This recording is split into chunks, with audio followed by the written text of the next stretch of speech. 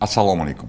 Ma'lumki sud amaliyotida fuqarolarning huquqlari va qonuniy manfaatlarini himoya qilish odil sudlovni amalga oshirishda davoni ta'minlash instituti ham muhim o'rin tutadi.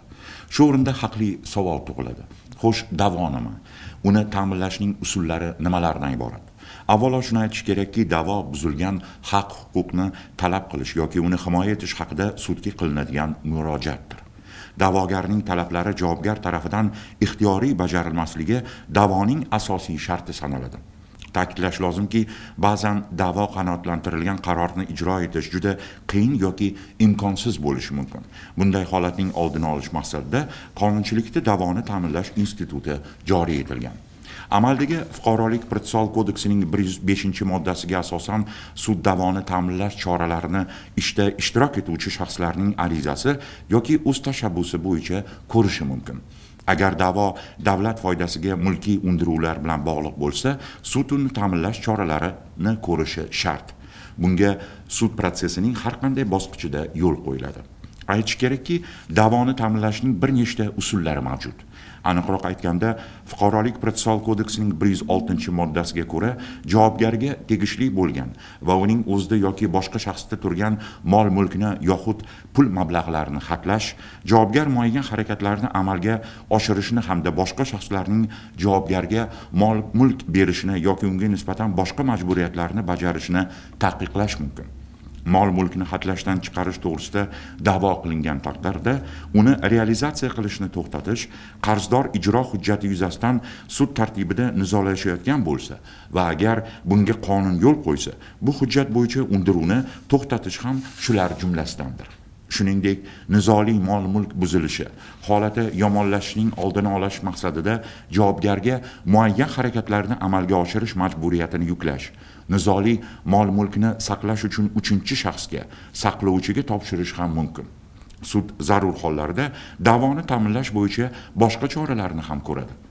Yuqoridagi qoidalarga binoan sudya mulkini ro'yxatdan chiqarish to'g'risidagi arizani qabul qilgach da'voni ta'minlash maqsadida nizoli mulkka nisbatan ijro harakatlarini to'xtatish haqida ajrim chiqarishi va uning nusxasini bosh prokuratura huzuridagi majburiy ijro byurosining hududiy bo'limiga yuborishi lozim. Ushbu tartib oliy sud plenumining sudlar tomonidan mulkni ro'yxat arestdan chiqarish haqidagi ishlarni ko'rishda qonunchilikni qo'llashni to'g'risidagi o'ninchi sonli qarori sakkizinchi bandida belgilangan. Bundan tashqari da'voni ta'minlash choralari arz qilingan talabga mutanosib bo'lishi kerak. Sud zarur hollarda da'voni ta'minlash chorasining bir nechta turini qo'llashi mumkin lekin ularning umumiy summasi da'voning bahosidan oshib ketmasligi shart.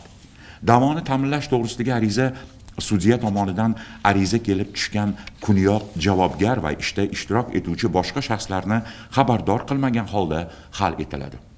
Fuqarolik protsessual kodeksining bir yuz sakkizinchi moddasiga muvofiq sud ishda ishtirok etuvchi shaxslarning tushuntirishlarini eshitib davoni ta'minlashning bir turini boshqasi bilan almashtirilishi mumkin. Ayni masala ishda ishtirok etayotgan shaxslar xabardor qilingan holda sud majlisida hal etiladi.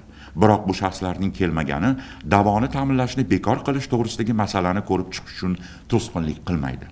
Shu o'rinda yana aytib o'tish kerakki da'vo rad qilinsa davoni ta'minlash choralari hal qiluv qarori qonuniy kuchga kirguniga qadar saqlanib qoladi. Ammo sud davoni ta'minlash choralarini bekor qilish to'g'risida hal qiluv qarori bilan bir vaqtda yoki u qabul qilinganidan so'ng ajrim chiqarishi mumkin. Da'vo qanoatlantirilgan taqdirda da'voni ta'minlash choralari hal qiluv qarori amalda ijro etilguniga qadar o'z kuchini saqlab qoladi. Boshqa toifadagi ishlar singari da'voni ta'minlash to'g'risidagi ajrim ustidan xususiy shikoyat yoki protest berilishi mumkin. Lekin bu chiqarilgan ajrimning ijrosini to'xtatib turish uchun asos bo'lolmaydi. Xullas da'voni ta'minlashning bunday tartibi inson huquq va erkinliklarini ta'minlash barobarida odil sudlov sifatining oshishiga ham xizmat qiladi. E'tiboringiz uchun rahmat.